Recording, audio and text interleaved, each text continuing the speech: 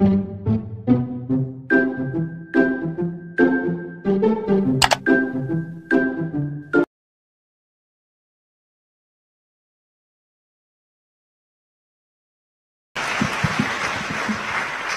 ်ကဲ့ပါခေါင်းစမှုတက်ပညာအနေနဲ့ကိုကြီးအနေနဲ့ပြောပြီးတော့တဲ့သူကျေးဇူးတင်ပါတယ်တို့တင်နန်းသားတွေလည်းဦးအောင်ဖိတ်ခေါ်ခြင်းပါတယ်ဦးအောင်ဦးသိန်းဝင်းရဲ့သပင်ညက်ဆိုင်ကိုတွားကြည့်ပါလုပ်ငန်းရှင်တွေ သူကဘလို့တိဆောက်ထားတယ်လေသူဒီသပင်ညက်တဲ့ကလေးတွေတောကကလေးတွေကိုတစ်နေ့လုံးနေလို့တစ်ခေါက်မှမပြန်ဘူးနော်သုံးနေ့လည်းပြန်ညီမပြန်ရတာဒါလေးတွေလည်းအဲ့သပင်ညက်တဲ့ကလေးတွေဦးအောင်အင်တာဗျူးလို့သိတာပါသူတို့ကျင်တတ်နေတယ်ဒါတော့တော့ဒါလည်းဦးအောင်တို့ဒါကျန်တာလဲ15မိနစ်လောက်ပဲကျန်တော့အချိန်ကြီးကအင်မတန်တန်ပါတယ်အဲ့တော့အကိုကြီးအနေနဲ့ဟိုကျွန်တော်တော့ကွန်းရတယ်ဖြစ်တော့ကျွန်တော်ကွန်းအရန်စားတယ်ကိုကြီးရဲ့အဲ့တော့ကျွန်တော်ကွန်းဖြတ်ရတယ် ကွန်းဖြတ်တဲ့အခါမှာလဲချက်ချင်းတော့ပြတ်မသွားဘူးပေါ့နော်တစ်ခါတစ်ခါပြန်စားလိုက်အဲနောက်ဆုံးတော့အပြီးပြတ်တယ်ပေါ့အဲ့တော့စကားလေးတစ်လုံးပေါ့ဟိုကိုကြီးသိန်းကဘာလဲပြောရင်ဟာလားရှင်ဘရင်အိမ်မှာတထေးအိမ်မှာပေါက်တဲ့ပန်းနဲ့စင်းရသားအိမ်မှာပေါက်တဲ့ပန်းမွေးတာချင်းအတူတူပဲဆိုတဲ့စကားတစ်လုံးသူ့ဘဝအတွက်အပြောင်းလဲပဲပြုပြင်ပြောင်းလဲခြင်းတဲ့လူကစကားအများကြီးလိုလားမလိုပါဘူးတစ်လုံးနဲ့ပါတို့တင်နန်းသားတွေထဲမှာပြောင်းလဲဖို့လိုအပ်ပါတယ်ဟုတ်ပြီအဲ့တော့ဥအောင်ကုန်းပြတ်တယ်ဘာကြောင့်ပြတ်လဲ ဥအောင်ရွှေတော်မှာနေရင်တန်းလန်းနဲ့ရွှေတူးတယ်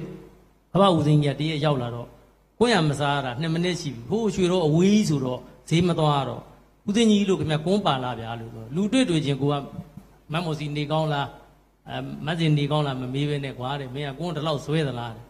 မင်းမနဲ့ကွန်းဘသူချစ်တုံဟာကိုတော်ကြီးမေးရတာဗျာလို့မိမချစ်တာဗောလို့မင်းကွာတဲ့မိမနဲ့ခွဲနေတာတလားလောက်ကြာပြီဒီဒီကွန်းလေးနှစ်ရက်ကိုတော်တော်ဆွဲသလားအဲ့စကား မင်းဒီလောက်ဆွဲသလားဆိုတဲ့စကားပြောတော့အဲ့ကလေးကအဲ့လိုဆိုဗျာလို့ကိုမစားတော့ဘူးဆိုအဲ့ဒီကနေစပြီးအကျင့်လုပ်လိုက်တာ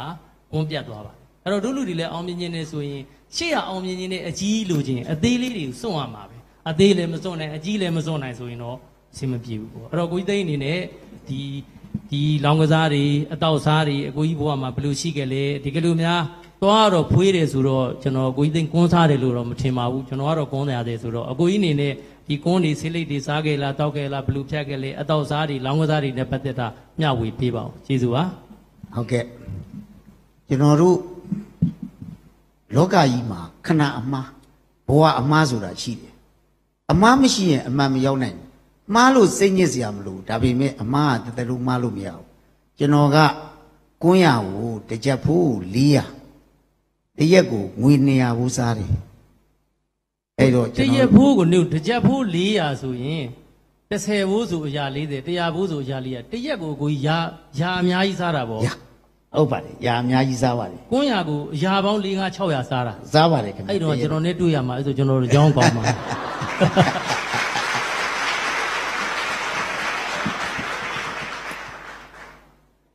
အဲ့တော့ကျွန်တော်ကခေါင်းဆောင်လုပ်မယ်အဲ့တော့တပည့်တွေကိုငါအရက်တောက်တာမြင်ဘူးသလားဆေးလိပ်တောက်တာမြင်ဘူးသလားကွန်းရစားတာမြင်ဘူးသလားကျွန်တော်ကဒါပေမဲ့တူနှောင်းပါတယ်အဲ့ဒီကွန်းရတွေကဆေးလိပ်ဆိုတဲ့အရာအတွေ့အငွေ့အငွေ့ဆေးလိပ်ကအငွေ့နော်ဆေးလိပ်တောက်ဘူးတဲ့လို့ကွန်းရကြအတွေ့ဖြစ်ပြီးအရန်ခက်ခဲသွားပြီသူကဆေးလေးထည့်စားတဲ့အခါကျတော့ကွန်းရကကျွန်တော်ကဖြတ်ရတော့မှာ ဖျက်ရတော့မယ်ခါကြတော့ကိုရစားလိုက်တယ်ခဏနေမပြတ်ဘူးကျွန်တော်ဖះမှမလူကိုဟာကိုသစ္စာပြုလိုက်တယ်ကျွန်တော်ဒီဒီကိုရကိုဆက်စားမယ်ဆိုရင်လူမှုရေးစီးပွားရေးပြက်ပြားရပါစီသားဆိုတော့အဲ့မှာတစ်လလောက်ကြာသွားတယ်ကျွန်တော်ပို့ပြီးတော့ဆင်းရဲသွားသလားလို့အဲ့ဒါနဲ့ကျွန်တော် ကိုကွန်းပြန်စားလို့ပြန်ပြန်ဆင်းရဲသွားတာပြန်ပြန်ဆင်းရဲနေတာဩတခါတည်းတော့မပြတ်ဘူးတခါတည်းတော့မပြတ်ဘူးကိုသူလည်းကိုလိုပါပဲလားအဲအဲ့တော့ကျွန်တော်တို့စိတ်တွေကဩငါကိုယ့်ကိုယ်ကိုတစ္ဆာပြုလိုက်ပြီဟုတ်တယ်နော်အဲ့တော့ဖះမှာတော့လှူတာမဟုတ်ဘူးဘာလှုပ်လို့အစင်မပြေတော့ဘူးဆိုပြီးတော့အဲ့ဒီကလေးကကွန်းရသည်ထီလည်းမထီတော့ဘူးကင်လည်းမကင်တော့ပါဘူးအဲ့တော့ကျွန်တော်တို့ကအစအကျိုးအမြတ်တွေက ကျွန်တော်တို့တောမှာဆိုနွားများလို့ဆိုကွန်းရစားရင်ဒီထဲမှာစားတဲ့လူလည်းရှိရင်ရှိမှာပါအကျိုးအမြတ်ကဘာများလို့ဆိုတော့မအိတ်မချင်းနွားများစမြုပ်တယ်လို့ပြန်နေရတာဘာအရသာမှမရှိဘူး